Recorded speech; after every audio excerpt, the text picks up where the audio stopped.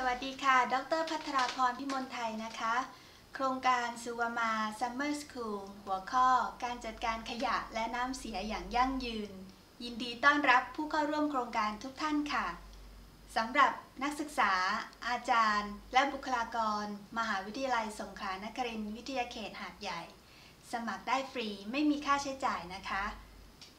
วันที่ 25 กรกฎาคม ถึง 5 สิงหาคมนี้ เราพบกันที่คณะการจัดการสิ่งแวดล้อมนะคะ ขอบคุณค่ะ